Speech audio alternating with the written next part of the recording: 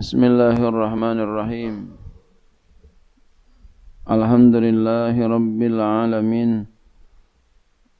وبه نستعين على أمور الدنيا والدين والصلاة والسلام على أشرف الأنبياء والمرسلين. سيدنا وحبيبنا شفيئنا مولانا محمد وعلى آله وصحبه أجمعين. Subhanaka la ilma lana illa ma'alamtana innaka antala alimul hakim.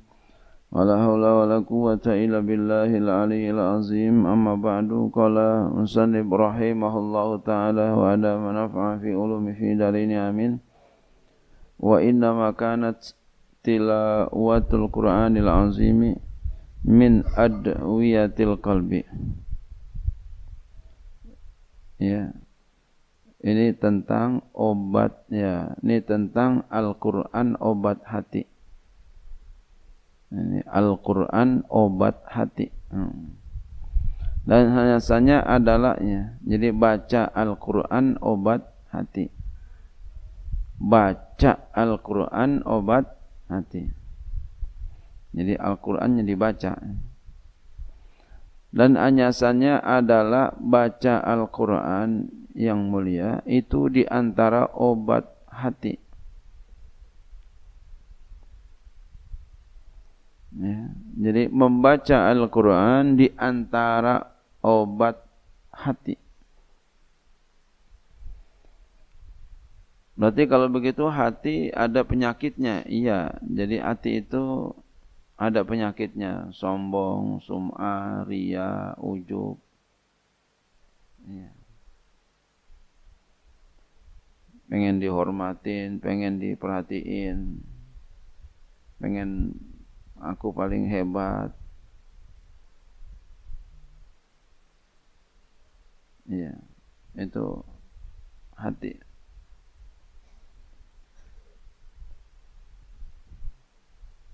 munafik itu. Itu hati. Banyak penyakitnya. Justru yang begitu yang susah justru yang begitu penyakit itu yang susah. Penyakit hati yang susah. Penyakit dalam yang fisik aja penyakit dalam yang fisik aja susah. Bagaimana penyakit dalam yang ruhani? Penyakit dalam yang jasmani aja susah, bagaimana penyakit dalam yang ruhani?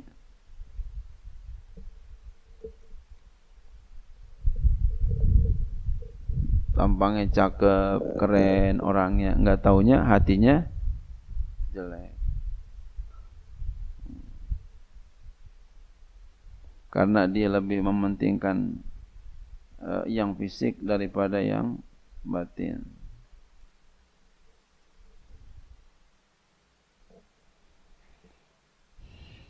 ada orang tampangnya nggak bagus jelek ya tapi hatinya bagus karena dia lebih, lebih memperhatikan hatinya jadi luarnya nggak kepikiran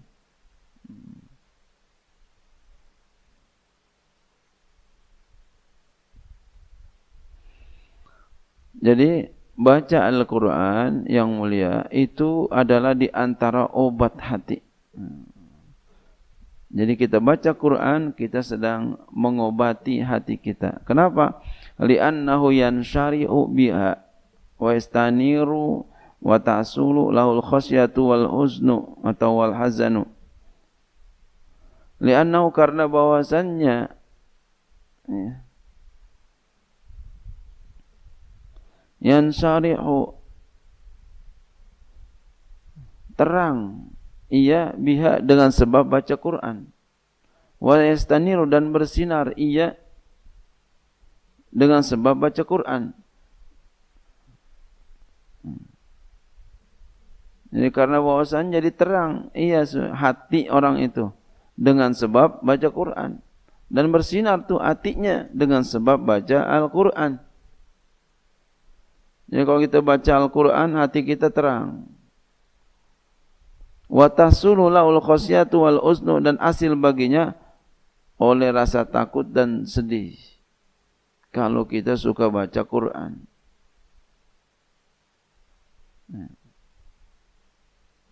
Lakin tapi syarat bisyarti mura'atil ada bisabiqati walaikati dengan syarat menjaga adab-adab yang lalu dan adab-adab yang akan datang yang berikut. Qala Hasan al-Basri berkata oleh Imam Hasan Basri, "Wallahi demi Allah, ma asba al-yawma 'abdun yatlul Qur'ana yu'minu bihi illa kasura husnu wa qala farahu wa kasura bukahu wa qala dahuku wa kas wa kasura nasabuhu wa syughluhu wa qalat rahatuhu wa batalatuhu." Imam Hasan Basri beliau berkata, "Wallahi" sampai pakai wallahi demi Allah ma asbah tidaklah masuk di waktu pagi al yauma hari ini suatu suatu hari pada suatu hari tidaklah masuk waktu pagi pada suatu hari abdun oleh seorang hamba. Yatslul Qur'an dia baca Al-Qur'an. Yu'minu bi dia beriman dengan Al-Qur'an itu. Illa kecuali kasura husnuhu banyak sedihnya. Jadi kalau dia baca Al-Quran banyak sedihnya, bukan banyak sedihnya karena ya dunia bukan. Hatinya sedih, sedih akan akhirat. Jadi ingat akhirat. Sedih. Wa qala fara'uhu dan sedikit gembiranya. Gembira apa? Gembira terhadap dunia sedikit.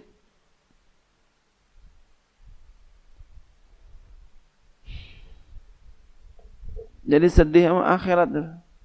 Ingat sama akhirat aja. Kurang amal baiknya. Salatnya merasa kurang, puasanya, zikirnya sedih. Ingat. Dan sedikit gembiranya sama dunia enggak biasa aja. Wa kasura buka'u dan banyak nangisnya Nangisnya banyak. Orang yang suka baca Quran. Nangis apa? Nangisin akhirat. Bukan nangisin dunia. Bukan. Nangisin akhirat. Wa qala dan sedikit oleh tertawanya orang yang baca Quran.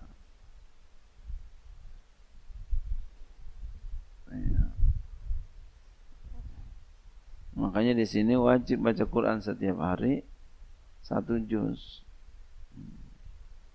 Enggak boleh enggak. Ya, biar ini di antara hikmahnya ya. Wa kasura nasabuhu dan banyak oleh lelahnya, syukur dan sibuknya. Lelahnya banyak, sibuknya banyak.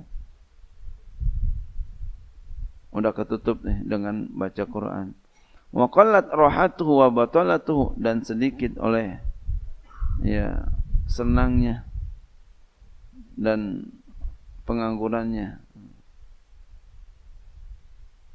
wa qala wa'bu bin wardi nazarna fi hadhil ahadisi wal mawa'izi falam najid syai'an arq lil qulubi wala ashadda istijlaban lil uzni min qiraatil Qur'ani wa tafahumihi wa tadabburihi.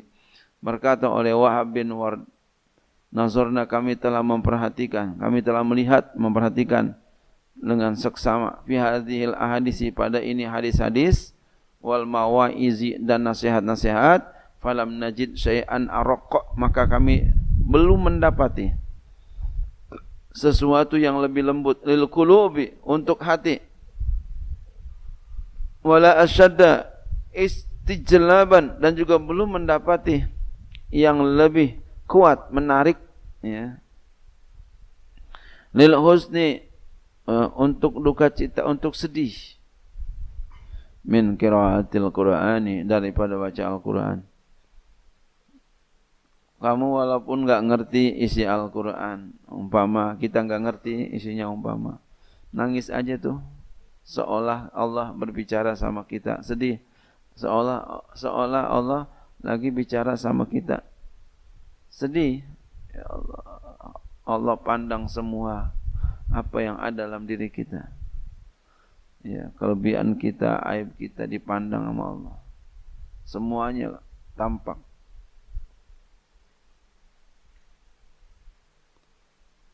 Jadi tidak ada yang lebih menarik bagi duka cita. Min kiraatil Quran daripada baca Quran.